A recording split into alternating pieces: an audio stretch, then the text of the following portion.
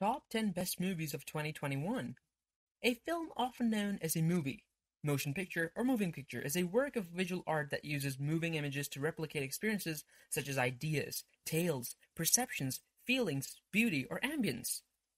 Sound and, on rare occasions, other sensory stimulations accompany these visuals. The term cinema, short for cinematography, is frequently used to refer to filmmaking and the film industry as well as the art form that results from them. In this video, we are counting down our picks for the 10 best action movies of 2021 so far. Before we move on to the video, please subscribe to my YouTube channel and press the bell icon so that you can be updated by my new videos.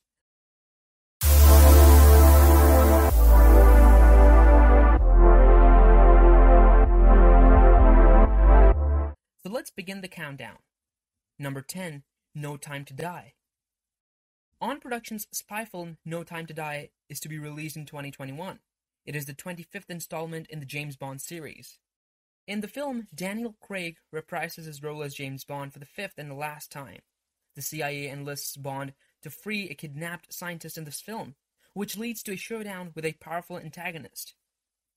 Madeleine Swann is a young girl who witnesses her mother's assassination attempt on her father's life by Lyutsifer Safin. The days when a new Bond picture seemed like it was starting over with the character and his universe as a standalone action film are long gone.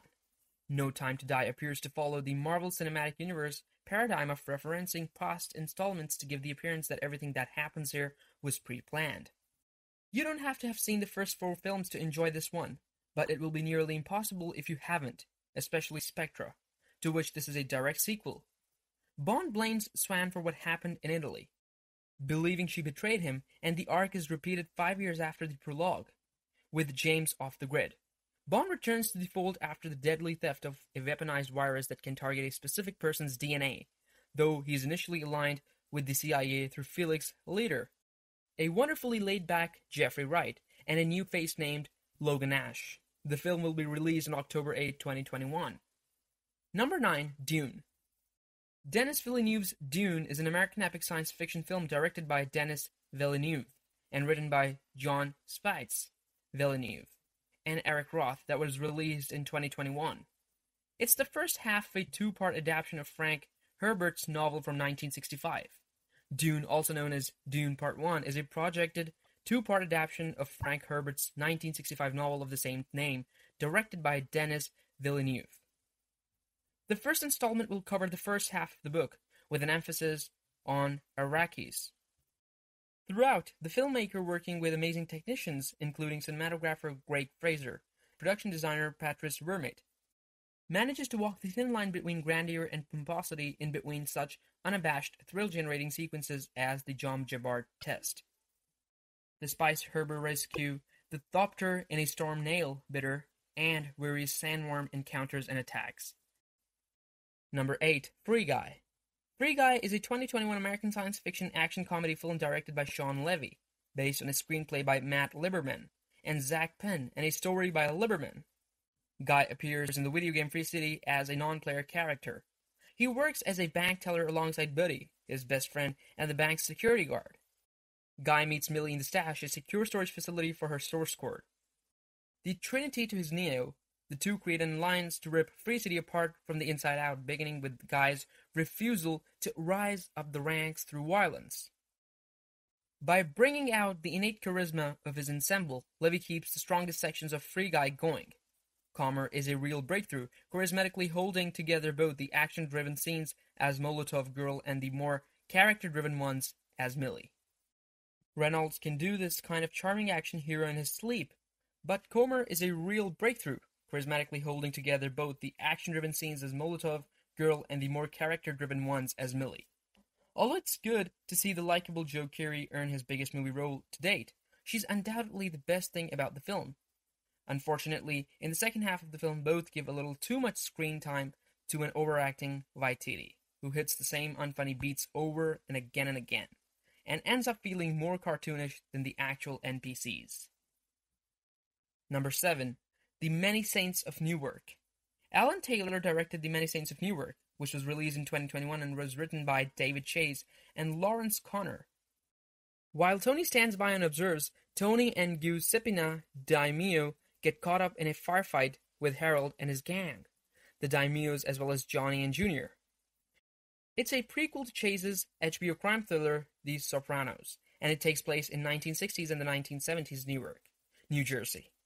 But it must also stand alone as a gripping story about family, loyalty, and criminality, particularly of the Italian American gangster sort. Beyond that, this film has another goal to convey something substantial about racial relations and black criminality in the context of the late 1960s urban violence wave that shook the country. With Newark being one of the hardest hit cities, the expansiveness of The Sopranos allowed for more and more authorial detachment and acting complexity as the series progressed, developing in smarts and sophistication even before the first season ended. Number 6. Venom. Let There Be Carnage.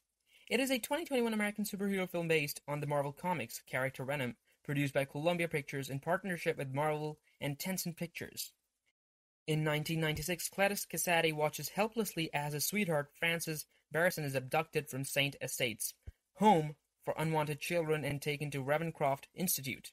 He has another chance to rule San Francisco's journalism, such a quaint notion that people actually read newspapers and follow specific reporters, this time by securing an interview with convicted killer Cletus Kasady, a scene-rechewing Harrelson, who is about to be executed at San Quentin State Prison.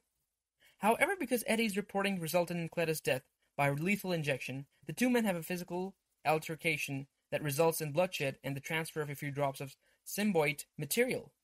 As if we needed another reason to keep our distance of six feet, in a smart twist, such startlingly loud noises impair Venom and Carnage. However, for some reason, the two symbiotes can roar at each other during the fight like kaiju rampaging through Tokyo, and it doesn't hurt them. It could be a different pitch, frequency, or something else. In any case, Cletus's reunion with the woman he's loved since childhood, as seen in a flashback, is never as compelling as Eddie's ever-changing bond with Venom. Number 5.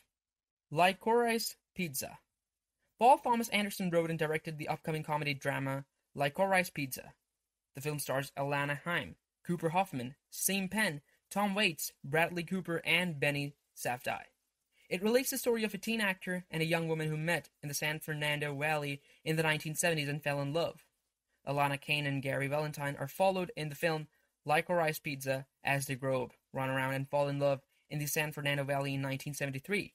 The film follows a young woman's difficult journey through her first love. Number 4. The Guilty. The Guilty is a 2021 American crime thriller film directed and produced by Anthony Fuqua, based on a screenplay by Nic Pizzolatto. Joe Baylor, a disturbed LAPD cop, works the night shift at a 911 call center in the film. He gets a call from Emily Lighton, who tells him that she has been kidnapped. The core of this thriller is nearly identical, right down to the smart little prologue that establishes our protagonist as flawed while simultaneously introducing a new, very Californian environment. On the night shift at a 911 dispatch center, we meet Joe Baylor, Gyllenhaal, as his city of Los Angeles burns on giant screens in the background. He's also dealing with an unspecified controversy that has resulted in calls from reporters after this LAPD officer was demoted to a dispatcher. Finally, he's struggling with his family's separation, attempting to phone his daughter merely to say goodnight. Of course, this is mostly a taut genre exercise that Hitchcock would have adored. It has a forced perspective that is comparable to that of Rear Window, if you think about it. Number 3. Shang-Chi and the Legend of the Ten Rings.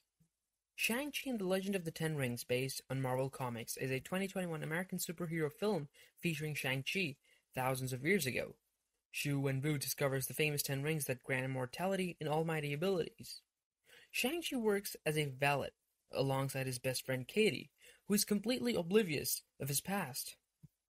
They are escorted to the Ten Rings compound where Wenwu uses the pendants to show a mysterious map leading to Ta Lo. They meet Lai's sister, Ying Nan, who informs them about Ta Lo's past. Water fills from walls, hovers in the air, and forms a map of icicles, a dramatic manner of expressing a moment that would normally be represented by a hologram. The film even has a lovely animated cute sidekick that deftly subverts the stereotype of plush-looking sidekicks with cute faces. The most prominent use of CGI, the kind that need Black Clouds as seen in Avengers Endgame's great battle, is saved for the final enormous climax, which is such an over-the-top, ecstatic roller coaster ride that you can't help but root for it. Number 2. The Starling The Starling is a comedy drama film written by Matt Harris and directed by Theodore Melfi that is to be released in 2021. After their young daughter died of SIDS, the Maynards, a married couple, are in mourning. Chris O'Dowd is in a residential mental institution while Lily, Melissa McCarthy, is at home alone, dealing with her own thoughts. Before Jack returns home, a counselor at Jack's hospital that Lily seek help for her own mental health, putting Jack's suffering ahead of her own. Jack and Lily have returned to their old home and are once again braving the world together. This takes her to the clinic of a local veterinarian, Kevin Kline, who was once a therapist but now has a jaded attitude towards the field. With the bird subplot, his new career will come in handy, but he's also Lily's unusual counsel, someone who can communicate to her without the barriers that his prior occupation erected. Number 1. Malignant. Malignant is a supernatural horror film directed by James Wan and written by Wan. It was released in the year 2021. Madison awakens at the hospital to find out from her sister, Sydney, that her pregnant child died in the attack. During their investigation, Shaw and Moss come upon a photo of Madison as a toddler in Weaver's home and learn that Weaver specializes in child reconstructive surgery. Madison's friends and family members are also used as props to set up more clammy scare scenes. It's almost as if Wan, who shares a story credit with Ingrid Bisu, and screenwriter Akela Cooper, don't trust their audience enough to know or care about anything beyond PowerPoint-style bullet point dialogue, like when Dreamboat policeman Kekoa Shaw, George Young tells Madison's suspicious sibling Sydney that the doctor said your sister had three miscarriages in the last two years. We need to find that missing half, he says of Gabriel's half-missing murder weapon, to which he responds, Yeah, don't we all? Because these characters don't appear to care about each other beyond setting up the next shock scare, there's no follow-up to that thrown off phrase. If you liked the video, give it a big thumbs up and subscribe to my channel for new videos.